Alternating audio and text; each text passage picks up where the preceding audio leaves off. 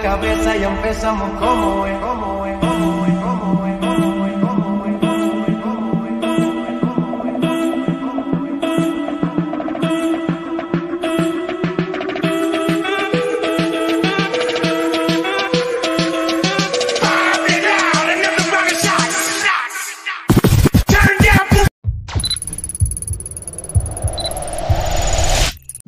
Warning this video is for educational purpose only we are not responsible any illegal activity done by watching this video. Um, assalamu alaikum yan uwa barkanmu da warka barkanmu da dawowa arewa cyber warrior sunana Mr. Robert Nigeria haka.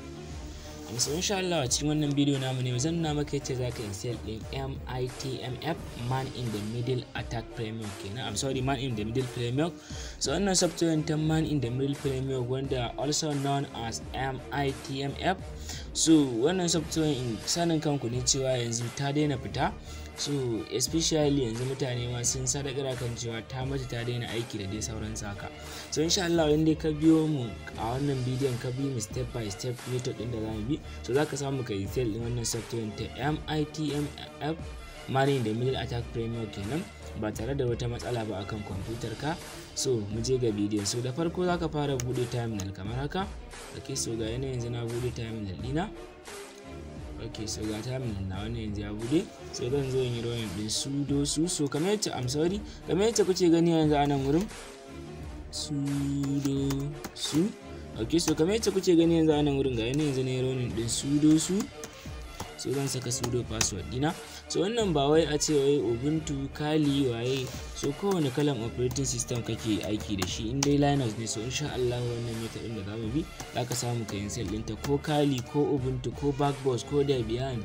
So duk dai kalan operating system din da kake aiki da shi in Allah yadda wannan method din za ta yi guiding naka. Lafiya lau za ka install ba tare da wata matsala ba. Da farko so za mu buɗe browser kamar haka. Idan muka buɗe browser kamar haka za mu zo mu sacin din arewa i'm sorry. So ga yana arewa cyberwar i'm sorry. Arewa anonymous.blogspot.com kamar yadda kuke gani ga yana so don't forget i will give you the link in the description. So arewa anonymous.blogspot.com okay so kawai za ka danna enter kamar haka. Ok so kamar yadda kuke gani yanzu da zaran ka danna enter wannan zai tafi kai ka cikin blog din ne direct. So kamar yadda kuke gani yanzu ga blog ɗin nan ya kawo mu. So kawai abin da zaka yi yanzu a nan wurin me za ka yi yanzu a nan wurin? Yanzu mun shigo cikin website din mu. So abin da za ka yi kawai yanzu a nan wurin so za ka dan iya zuwa sai kai sacin idan mun da yin wannan posting amma nan already ga posting ɗin nan. So amma idan ka zo misali wannan posting din ya zama irin all post haka mun daɗe da yin shi so kawai za ka zo ka yi za ka zo nan ne sai kai sacin din how I'm sorry za ka rubuta how to install how to install mitmf okay? Da zaran ka rubuta kamar haka how to mace kuke gani? How to install mitmf so kawai da zaran ka rubuta kamar haka za ka kilikin akan search. So wannan zai tafi ko da mun yi ko shekara ɗari nawa muka yi da wannan posting din inda ya ka samu kallon nan bidiyon ka zo so da zaran ka rubuta kamar haka zai tafi ya kawo maka shi a sama. Ok so kamar yadda kuke gani yanzu ga yana a nan wurin.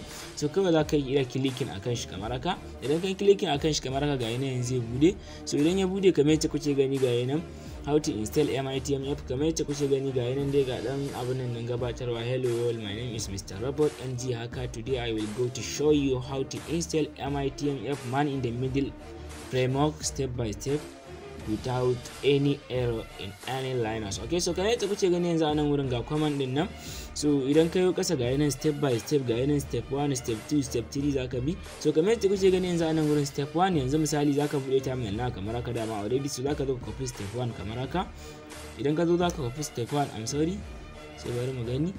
So za ku rinka barin wancan alamar dollars din ba ruwanku da ita so tana cikin terminal ɗinku kawai da idan ku dan fahimta ne.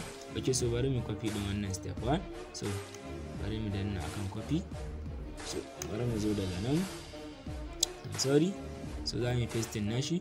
So kamar yadda kuke gani a nan wurin ga yana yanzu direct step 1 ya tafi ya fara mana install. So kamin ya kammala za ka zo ka copy step 2 I'm sorry.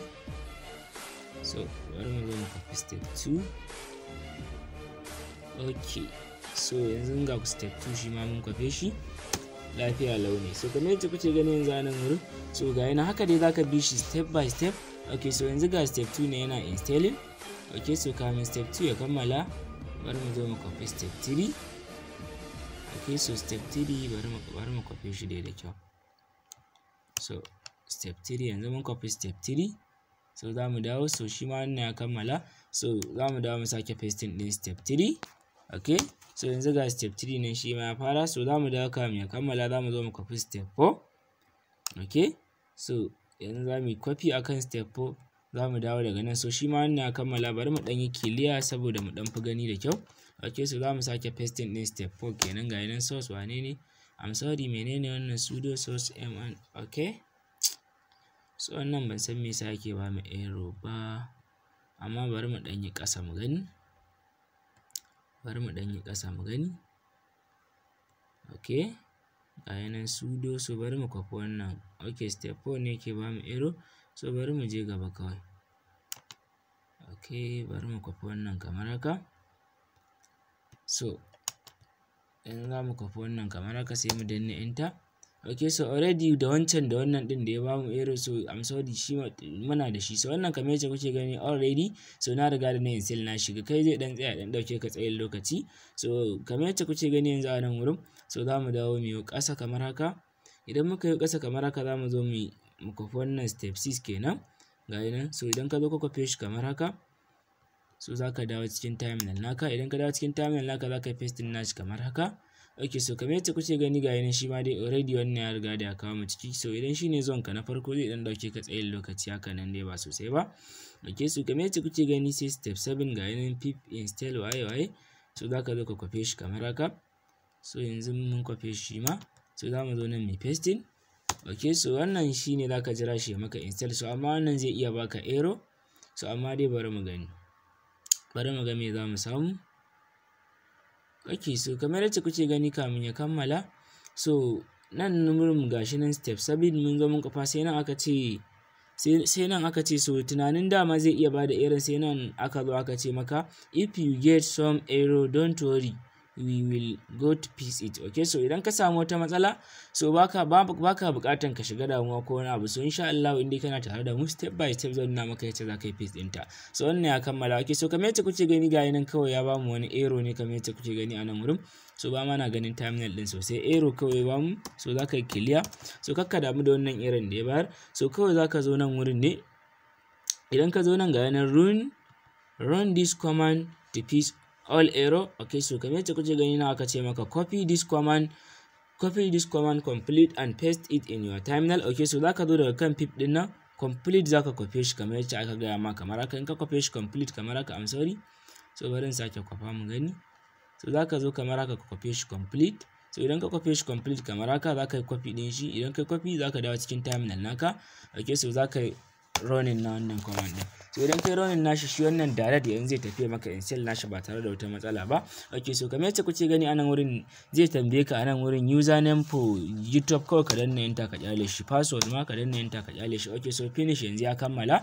So yanzu mun kammala install nashi. So zai dan ya ɗaukan ka lokaci wannan abun. So idan shine zuwan ka na farko ni already na riga da na yi ne shi so nan sai aka ce maka now we are end. Ma'ana mun kammala yanzu. So abin da ya rage maka kawai ruin this command. Menene? I'm sorry ruin this tool by typing this command. Okay so kamar yadda kuke gani ga nan command din da zaka yi typing python mitm tag ta menene tag py zaka yi zaka yi abin nan. So yanzu idan ka dawo daga nan wurin kai ls zaka kana cikin folder mitm app ne. So zaka zo kawai nan sai kai paste din wannan command din ga nan idan kun duba nan ga nan mitm app py ne ko? So i'm sorry .py so kamar yadda kuke gani yanzu ga nan python mim i'm sorry mitm app .py tag help? So za ka danna enter tag tag help. I'm sorry. So wannan zai tafiya maka ronin nata lafiya yanzu ba tare da wata matsala ba. Wow. So kamar yadda kuke gani yanzu ga nan kawai ba mu help message ga nan kamar yadda kuke gani ga nan menene JS key loga? Waye load waye? Ga dai nan dai nan kalolin attack attack din da yake iya ɗauka ne shi software idan ka dawo daga nan ga nan kuna ga nan duk help command ne. In ka zo daga nan za ga har da wata bana da zai fitar ma. Okay kamar yadda kuke gani ga nan so wannan shine yadda ake install din MITMF man in the middle framework. So wannan software da kuke gani fitinannen software ce gagararriya ce a wurin man in the middle attack. So insha Allah ku dai kasance tare da mu. So za mu zo za mu yi bidiyoyi a kanta sosai ba kaɗan ba. So wannan ya wuce mu bidiyo ɗaya. So za mu muku bidiyo ina tunanin at least zan muku bidiyo sama da guda biyar game da wannan software. Domin ina so in nuna muku ita ne from down ake cewa? I'm sorry. So turawa ku dan ƙara samu. Daga farko zuwa ƙarshe. So zan zo muku bidiyo akan ta insha Allah. Okay so duka duka nan za mu kawo ƙarshen wannan bidiyo. Idan kai bako ne a wannan channel mai albarka ka taimaka danna mana